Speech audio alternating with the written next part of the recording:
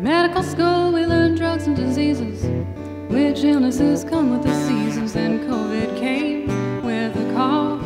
We watched down and locked the clock, and we stopped standing quite so near.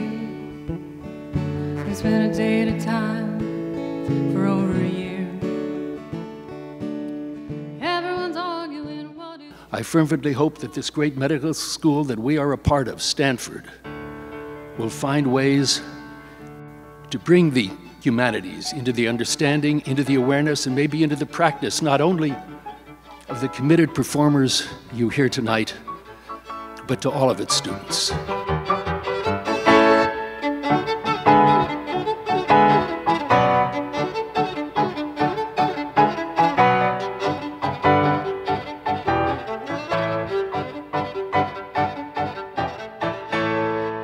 Medicine is not just science.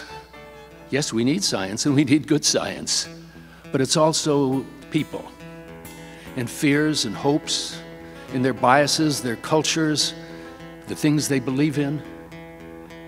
And part of our task as physicians is to communicate, to communicate with people, to allay the fears, to bring hope, and to share our knowledge so that it becomes understanding for them. Never plays guitar without his cocoa speed. He never flew so high off that trampoline when he lost it one night gambling.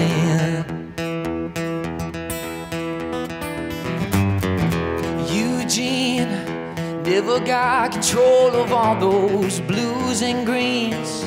Never saw the light he saw in all of his dreams. The truth you worn like a badge of vestige.